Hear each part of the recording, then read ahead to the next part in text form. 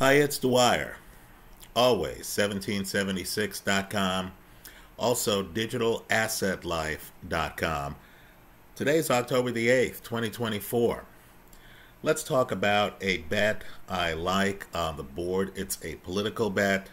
I've mentioned it before. I believe now it's even more compelling. But first, remember the opinion you should follow should be your own. Just consider this video to be a second opinion from a complete stranger online. Now, the bet that I like, and it's uh, an underdog play right now, is the GOP to win the popular vote. Believe it or not, right now you're getting that at sites like bovada.lv at a plus 275. Let me repeat that a plus 275. Now, let me further add that, you know, I don't plan a vote for the Democrats or the Republicans in the presidential race. Right? I don't. Um, I'm in it to make money. Really couldn't care less what's politically correct. Right? This to me is just an opportunity. But let's give the backdrop to it. Right? Right now, folks are focusing on national polls, and they matter for this bet that show Kamala Harris with between a 1 and a 3 percentage point lead. Now, I want people to understand, and old timers know this, that in presidential elections, things will often break in the last 10 days before the election. Right? Jimmy Carter was beating Ronald Reagan in 1980. They had one debate. Reagan asked the question Are you better off than you were four years ago? Um, things broke. People want consensus. You have a lot of voters who are on the fence who will tell the pollsters one thing and then do another when they sense that the political mood in the country has changed. You also have other voters who'll talk to pollsters and then will ask themselves, wow, it's windy outside. My neighbor doesn't agree with me. How strongly do I believe in the pick that I had that I discussed with the pollster? And you'll find many, many people in certain elections staying home. Let me also say, too, that what I'm about to say has nothing to do with intelligence, right? It really speaks to presentation. I believe you have some extremely bright people who just don't come across well when questioned or in stressful situations. Right? Understand. Jimmy Carter, one termer, was Phi Beta Kappa. Understand the folksy Harry S. Truman, right, who was supposed to lose to Thomas Dewey. That election was a bit of a miracle, right? Truman wins several states, barely. Harry S. Truman was Phi Beta Kappa. Let me say, if you've studied the Kennedy assassination, it's intriguing that Gerald Ford, who never came across authoritatively in public, who was played on the old Saturday Night Live by Chevy Chase, who kept falling downstairs and what have you in the skits. But if you've studied the Kennedy assassination, you know Gerald Ford was on the Warren Commission. It's Gerald Ford who changes the trajectory of the bullet. Then, of course, Gerald Ford, we come to find out, had a relationship with certain members of the intelligence community. Gerald Ford is one of the very few who became vice president without a vote of the people. Right? Look him up. Right? Gerald Ford, of course, is the person who allowed private ownership of gold in the United States, right, for the first time since the FDR administration.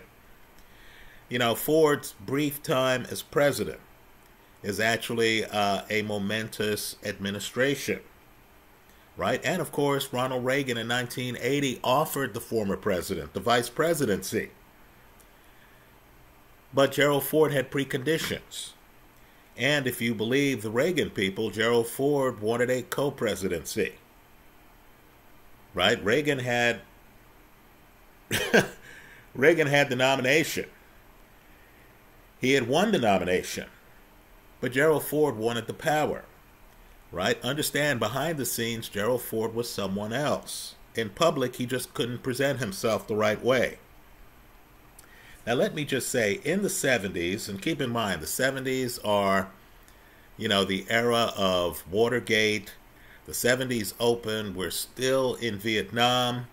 Um, there was still an outcry over the Kennedy assassination in 63 to the point where you had the church committee, you had Congress investigating the Kennedy assassination. The press did not trust the government back then. You had a completely different dynamic that you just don't have now. Right? People weren't trying to be friends, at least not people in the press, with Richard Nixon. Right now, when I was a kid growing up, just understand that you knew that if someone was being interviewed by Mike Wallace, right, of CBS, you understood that that interviewee was going to be put through hell. You understood that Mike Wallace was going to show up prepared for the interview.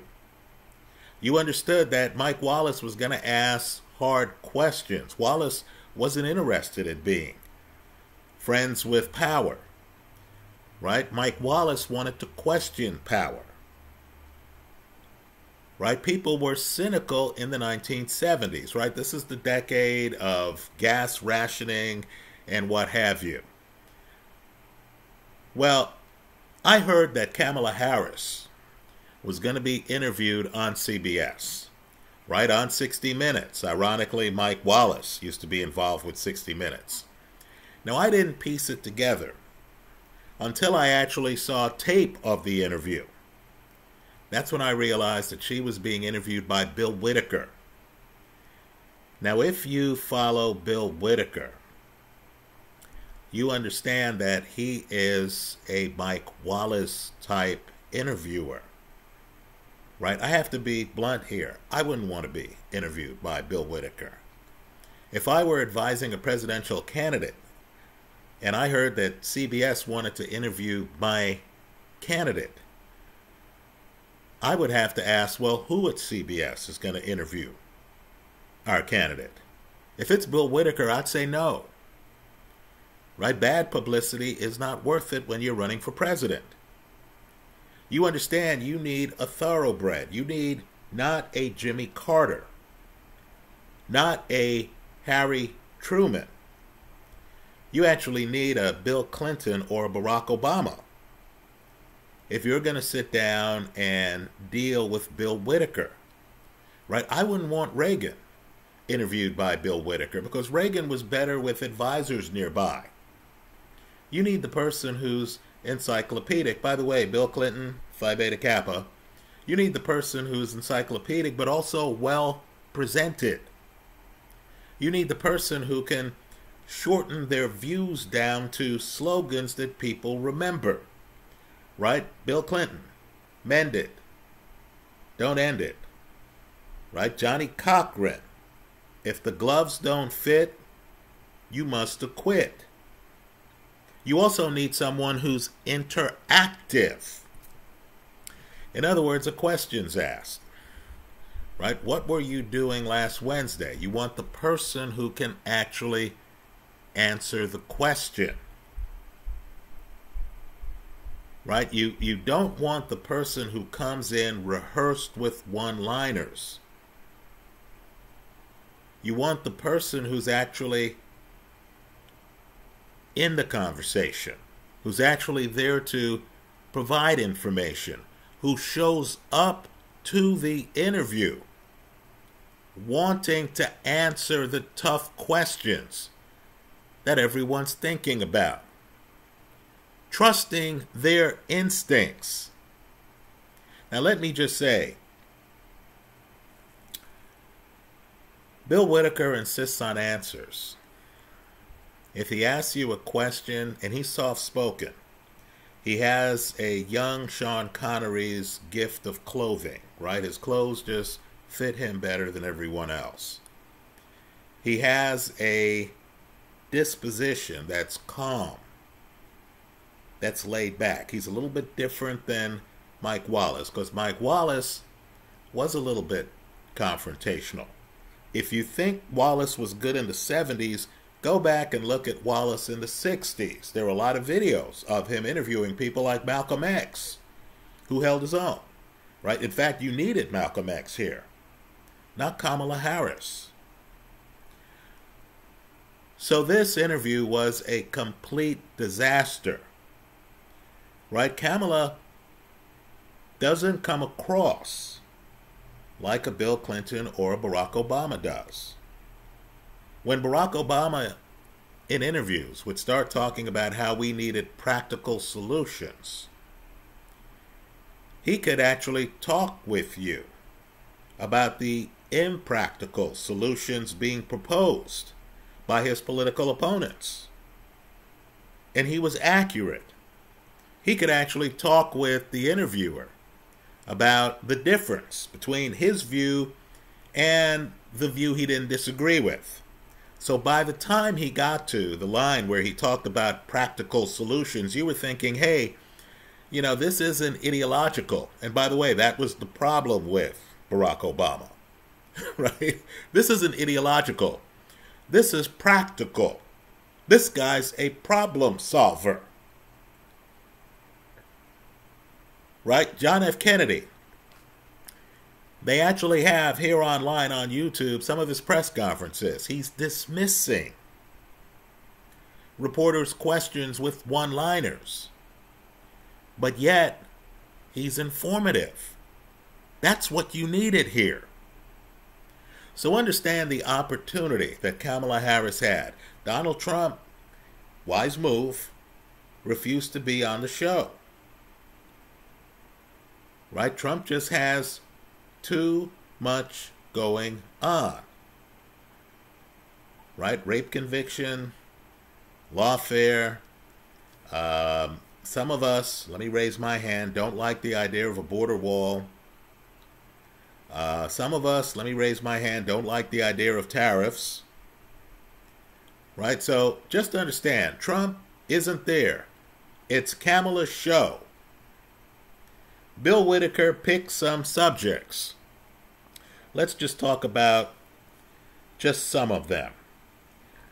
Right? Whitaker asked her about foreign policy. What is she going to do to prevent the escalation of a war in the Middle East? Now, I've seen people handle questions like this in many ways right? I've seen really astute politicians talk about how they're limited in what they can say because of relationships with allies, as well as a need for some confidentiality in trying to protect American interests and um, American lives.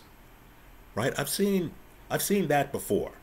But even those politicians will then talk about how steps can be made how uh, they can reach out to certain key players. They don't even have to identify the key players. Right? How they've received assurances from allies. Right? Whether or not the ally is reliable, it would have helped to have some reference to, you know, communication uh, between the United States and some of the players that would assuage viewers into thinking that we're in control of this situation. That's not the kind of answer that Kamala Harris gave. Right? Kamala seemed to show up with a list of statements that worked for other candidates in the past. Right? Kamala at times seems surprised by Whitaker's questions, as if she showed up and did not expect to actually be challenged on the border. Well, understand, I thought Kamala did a terrible job talking about the steps she would take in terms of foreign policy, in terms of the situation in the Middle East. On the border, Whitaker asked the question You thought Kamala would jump on the question. This is my opportunity to address the border. Right? Whitaker pointed out that the crossings have increased by three or four times um, since Biden Harris took office. And here again, Kamala's response was non responsive to the point where Whitaker had to repeat the question. And of course, Kamala kept talking. Right? She, quite frankly, would have been better off saying we could have done some things better. Right? We've all seen the astute politician who will talk in the passive tense and will say things like mistakes were made. Right? But those weren't the kind of answers Kamala had on her list. That wasn't what she was prepared for. Let's just say it didn't work. On inflation, now let me just say it's stunning that any politician would blame supermarkets with less than 3% profit margins for inflation, right? Think about the players in the grocery space. Some of the shrewdest retailers in the country Walmart, Amazon, right? You know, Amazon seems more into brand extension than anything else, don't they? You don't even get the feeling they're making big money off their supermarkets. You get the feeling that they really just want their name in the news so they can make money off higher margin parts of their business, like cloud computing. And so understand, it's it's absurd to say we're going to fight inflation by setting up a government agency that's going to look for price gouging by retailers making 3% and less margins. Well, it's amazing. You would have thought that at this late stage in the campaign, the candidates would come clean. They would be focused. They would realize that that earlier speech didn't work. Right? That people understand that there's a correlation between money printing by the government, spending by the government, demands on capital by the government, and rising prices. Right? You don't need to be an econ major to understand that the inflation government is responsible for at least part of it. Well, folks, here again, Kamala was unprepared for the question. She was my senator right? She was the Attorney General for the state of California. I'm sure Kamala is uh, very sharp. My ex wife and Kamala Harris didn't know each other, but they were in the same sorority, right? You know, looking at Kamala's past, I know she's accomplished, right? She's our current vice president. But like Jimmy Carter, interviews are not a forum that she excels in. You can't put her in with a Bill Whitaker. Folks, you just can't. Right? I mean, you know, I believe Richard Nixon dodged interviews with Mike Wallace. Right? You don't want to put Kamala Harris in with a Mike Wallace type guy. Whitaker is just too focused. He's too cerebral. So let me just say the interesting part Give me one moment. The interesting part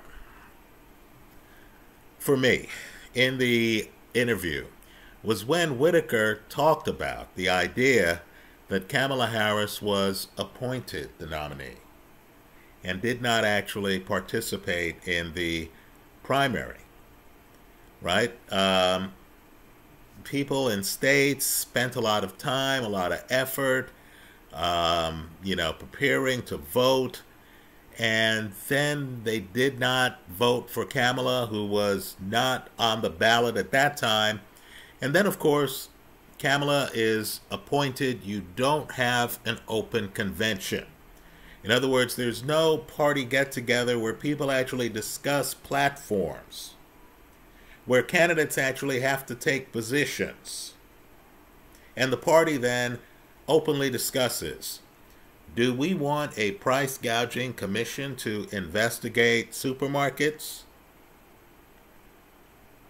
Right? Do we want a candidate who owns a gun but has been in support of what they call mandatory buybacks, where the government can take your gun. Right, folks? The Democratic Party didn't have an open convention. Candidates at the convention didn't have to strongly identify with certain issues. Right? I myself might have been interested in voting for Kamala if she was for free trade and not tariffs. I could have thought, okay, that would have been interesting. Right? If Kamala would have given some argument as to why we shouldn't have a border wall and perhaps we should have an expanded work visa program for people entering the United States. I would have been interested in that. Instead, we got handed Kamala, and we're trying to figure out her positions. So, Bill Whitaker, as only a skilled interviewer can, says to her, You know, people feel like they don't know you because you've changed your positions on. And then he starts talking about that, right? Fracking. Now, of course, she's for a border wall. Right? He goes down a list. It's clinical. Now, it would have been spectacular. It would have gotten her votes if rather than just give some bland answer about how she's been going around the country talking to people, right? Understand, many of us, I'm raising my hand here, want a candidate who isn't just blindly following popular sentiment. Sometimes we need to hear hard news. Right? If on fracking, Kamala had information where she talked about the job losses that would result from her prior position where she opposed fracking right? She should own what she believed in, right? If she talked about job losses and then she talked about how tenuous the economy was, particularly in places like Pennsylvania, where fracking employs a lot of people. And then if she said, look, you know, I don't like the environmental fallout from fracking, but I have had to evolve because our economy is going through a hard time. I'm not saying I'd agree with her.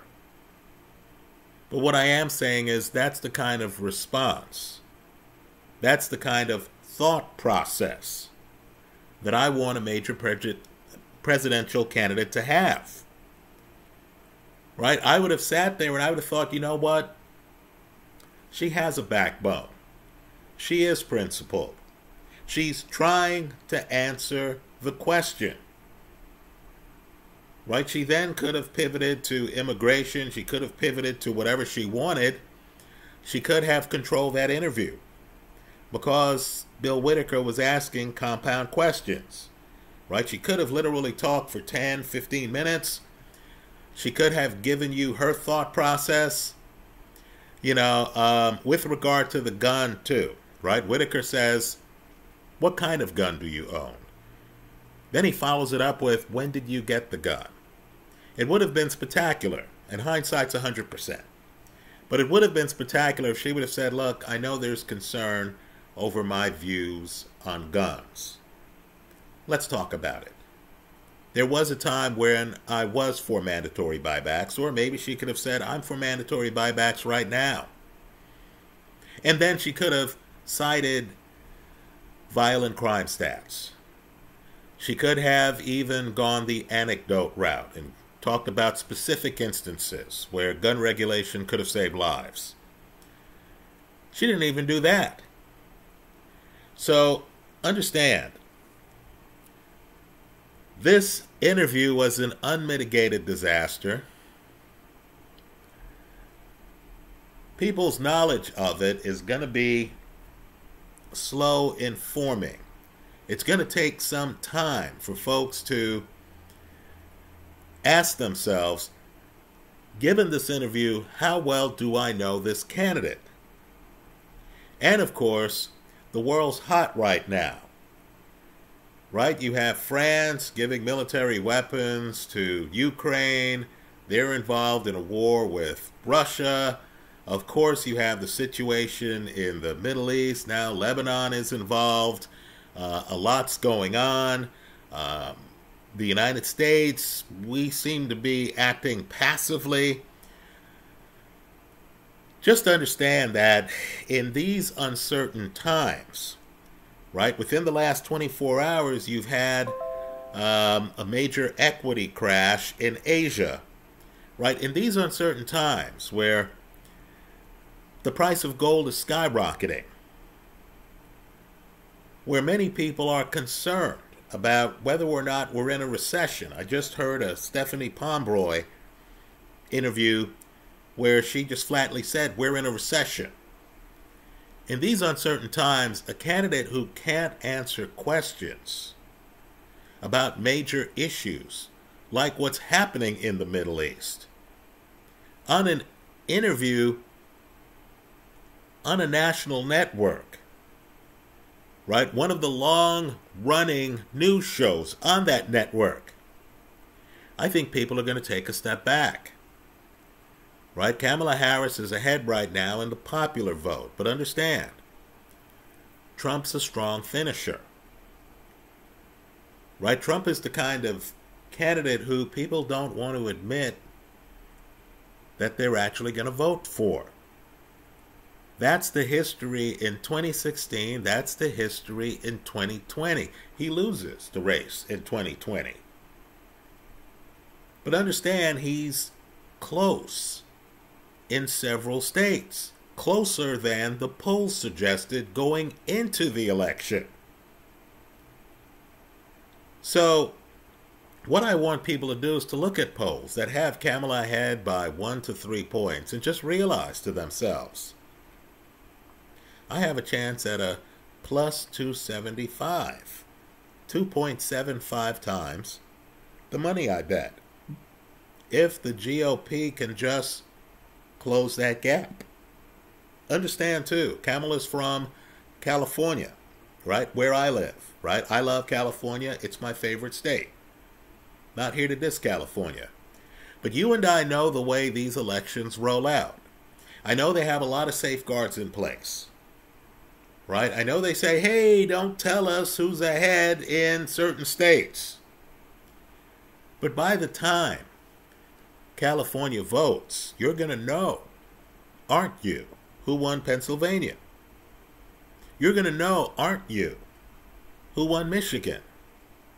There's a chance that by the time California votes, this election will be a done deal you'll already know who has won. Right? And so understand to win this prop, it's not whether Trump wins the election. No, this prop is the popular vote, which Republicans haven't won for several election cycles. Right? For you to have a chance to win this, Trump would have to win in states like Georgia Pennsylvania, Wisconsin, where he's leading now, Michigan, where it's a photo finish right now. Right? If he's ahead in those states, Kamala Harris's margin of victory, she'll win the state of California, but her margin of victory might not be what people think. Let me also point out, too, that the times are changing. In Silicon Valley, you actually have venture capital firms, Andreessen Horowitz, for example, where people are now openly, openly supporting, if not Trump, well, non Democrats, right? You even have Zuckerberg of Meta, you know, expressing remorse over agreeing to some press censorship in a prior election and who is openly calling Donald Trump a badass, right? My point to you is in that kind of environment, I'm just telling you, if Trump wins Pennsylvania, a lot of dominoes are going to fall, and they're not going to fall in Kamala Harris's direction. So let me say this I know I have a very diverse group here uh, that watch my videos on YouTube. Great. I'm thrilled. Right? I love diversity. Let me just say this.